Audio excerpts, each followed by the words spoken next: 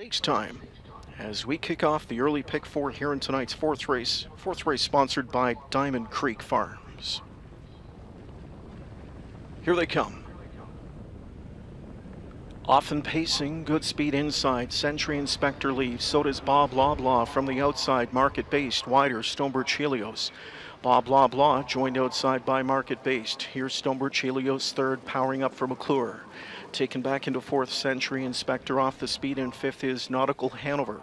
Sixth away at the rail left out, Atlas Hanover. Further back towards the inside to race along from in seventh is Many Moons, and the trailer from an eighth is Sports Box. Quarters up, 27 and 3. To the front goes the favorite Stonebridge Helios here. Market based to second. Gap of four to Bob Loblaw, then Century Inspector and Nautical Hanover. Further back we go to Atlas Hanover. Final two are Many Moons. And Sportsbox continues to trail. They're past three eighths. They're half mile bound. Stonebridge Helios leads. Market based continues second. Bob Blah is third. The rail fourth. Century Inspector. Fifth inside to Nautical Hanover. And sixth is Atlas Hanover. Final two are Many Moons and Sportsbox trails. 56 and 3 the first half. Very sensible speed. Stonebridge Helios leads the way as McClure starts to peck away at him going into the final turn, calling on him for speed. Second is Market Based. Then Bob Loblaw from in third.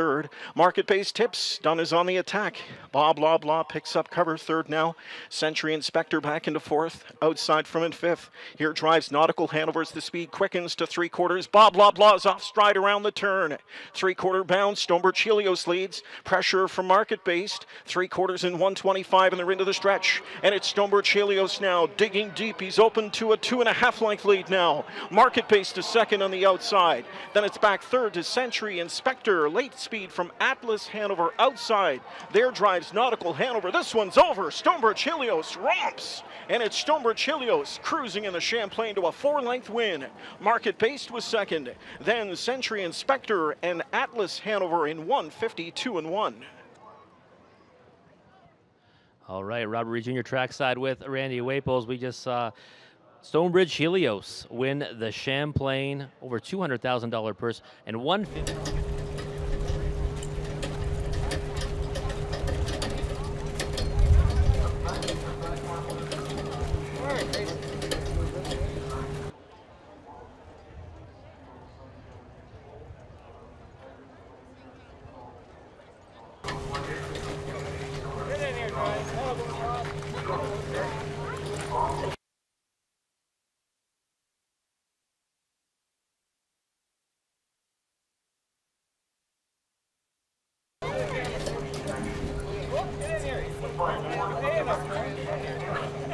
All right, there we go, guys.